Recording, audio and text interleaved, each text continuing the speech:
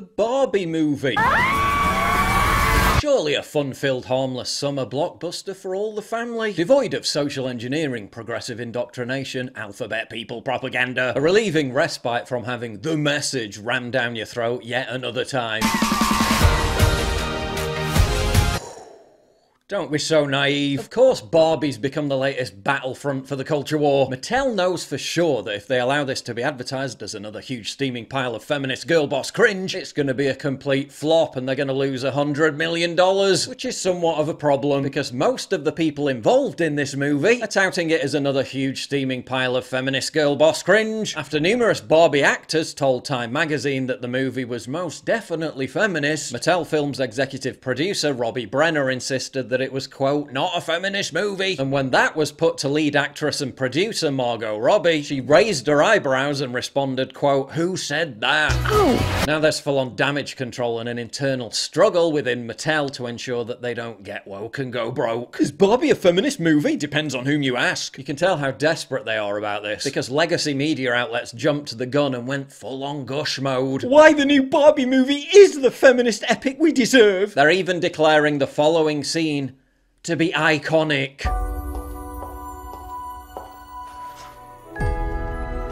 Wow, so iconic. That's got to be up there with The Shining and The Empire Strikes Back. So iconic. The press is in full promo mode for this movie. The word iconic no longer has any meaning. That scene's about as iconic in comparison to actually iconic movie scenes as the Barbie mansion is sophisticated and inspirational in comparison to the Sistine Chapel.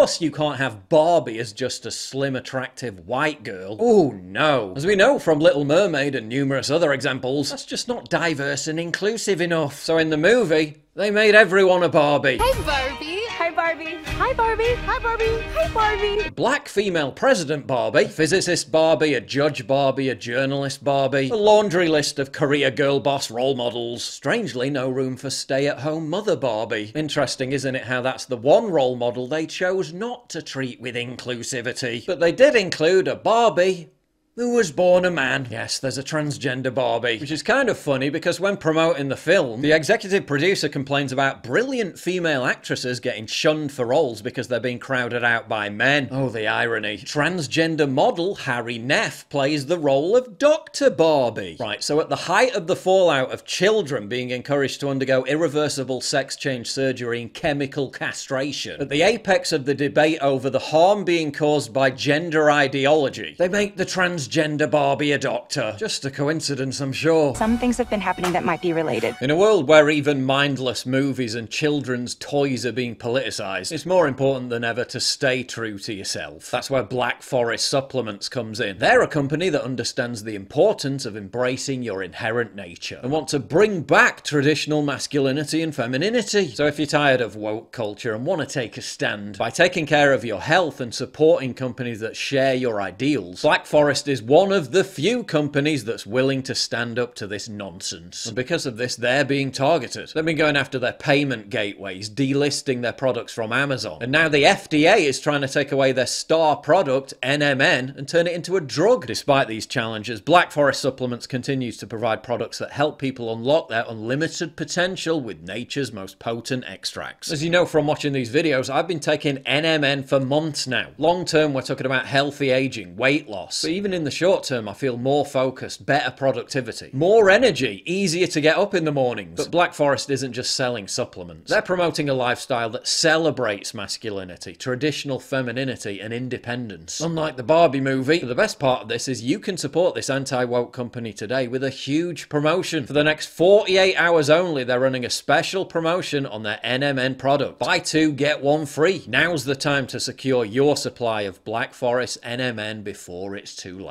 Don't forget to check the pinned comment and description for the link to buy two Black Forest NMN and get one free offer. Stand against the tide, reclaim your values, and become the best version of yourself. Now back to the video. The creators say they want the movie to provoke a thoughtful conversation. Yeah, because that's precisely what people are looking for when they pay $15 to see a Barbie movie, isn't it? Thoughtful conversations.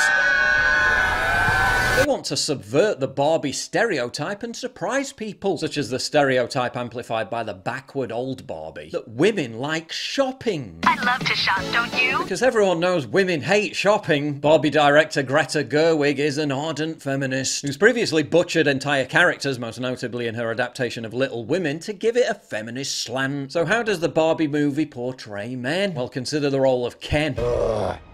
Hi, Ken. Ken for me is just kind of there. I think Ken's just a great accessory. That's what I loved about Greta's imagining of Barbie is that the Kens are just supplemental characters to these Barbies, while Barbies can do everything. Kens are there to kind of support and don't necessarily have to have their own story. In other words, Ken's nothing but a massive simp. Simp! So they've reduced an entire sex to a pointless mass of faceless NPCs, whose role is merely to facilitate and affirm the existence of the Barbies. Another stunning victory for gender equality. Also, traditional masculine gender roles are harmful and deny people their humanity. And then I read it, and I, it was like about sort of about how like gender roles deny people half their humanity, and how like we need to just like be ourselves, and it's like a very powerful message. Oh, but it's not a feminist movie. Margot Robbie said she only accepted the leading role in the movie because Mattel released diverse Barbie dolls, including the curvy Barbie doll, which wasn't curvy enough according to complaints by the body positivity movement, which demanded a plus-sized Barbie with three chins. Interesting, isn't it, how the creators of the Barbie movie want it to reinforce a message of body positivity and diversity, yet still chose this woman and this man for the two leading roles. Hmm, hedging their bets a bit somewhat, aren't they? But despite whatever drivel emanates out of Margot Robbie's mouth, be thankful for small mercies. They originally offered the role to Amy Schumer, who rejected it because it wasn't feminist enough. Vagina. Vagina. Vagina. Vagina. Vagina. Vagina. Vagina's vagina. Vagina. Vagina. Vagina. Just do women's comedy stuff, you know, talk about how fat you are and how you want to have sex with guys and then say, my vagina a lot. The fact that they originally wanted her to be the face of the movie doesn't really bode well for their decision making skills, does it? We know why Mattel's panicking. Barbie was completed and in the can long before the Bud Light meltdown, which thanks to woke pandering has now permanently cost the company 25% of its business. But Mattel can't change the content of the movie now in any meaningful way, which is why they're scrambling to control the narrative surrounding its pre-release marketing. Virtually every major movie in the last few years that went woke has completely bombed at the box office. Look at who the studios have to work with. Celebrities who are so committed to the woke mind virus. Hundreds of them just signed a letter lobbying big tech to ban anyone who opposes child mutilation surgery. Am I overthinking all this? Yeah, probably.